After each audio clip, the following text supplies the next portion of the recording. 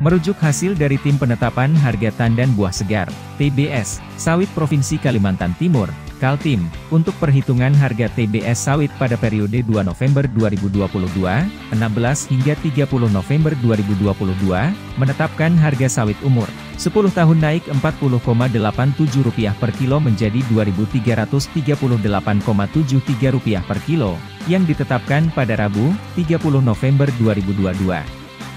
Berikut harga sawit Kalimantan Timur dari penelusuran info sawit sesuai surat dari Dinas Perkebunan Provinsi Kalimantan Timur, Kaltim, sawit umur 3 tahun Rp2.062,78 per kilo, sawit umur 4 tahun Rp2.204,37 per kilo, sawit umur 5 tahun Rp2.213,70 per kilo, sawit umur 6 tahun Rp2.236,56 per kilo, Sawit umur 7 tahun Rp2.249,39 per kilo.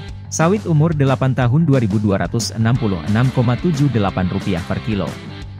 Sementara sawit umur 9 tahun Rp2.311,30 per kilo dan sawit umur 10 tahun Rp2.338,73 per kilo.